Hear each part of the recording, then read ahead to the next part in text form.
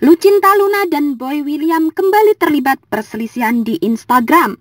Sumber liputan6.com 6 November 2019.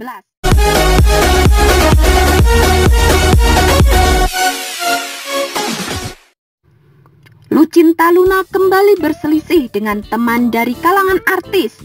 Kali ini giliran Boy William yang diketahui cekcok di Instagram Lucinta Luna.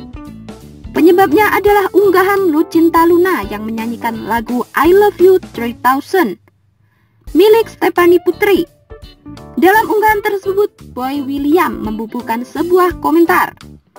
Come on, kasihan penyanyi aslinya, tulis Boy William.